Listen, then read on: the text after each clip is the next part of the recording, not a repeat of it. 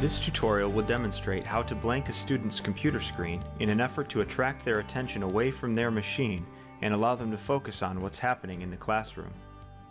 Before blanking a student's screen for the first time, it's a good idea to configure the behavior and the message or image that will be displayed on the student's machine while it's being blanked. To do this, select the drop-down arrow to the right of the blank screen button. Select the Configure Blank Screen message the LanSchool Preferences window will open. In the screen blanking section, type or select a message that will be displayed on the student's blanked screen.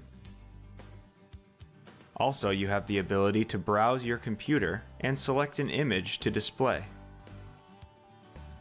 Once configured, click OK to close the Preferences window. To blank a student's screen, select one or more student machine thumbnails from the teacher console. If none are selected, the feature will affect all student machines. Then, click the blank screen button from the toolbar. You may be prompted to confirm whether or not you want to blank the student's screen.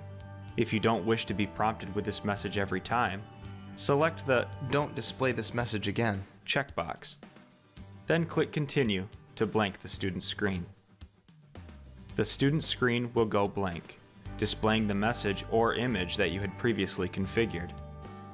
To unblank the student screen, simply click the blank screen button in the toolbar again to toggle this feature off. Now the student can return to what she was working on. This concludes the blank screen tutorial. For additional tutorials and information, please see our website at www.lanschool.com.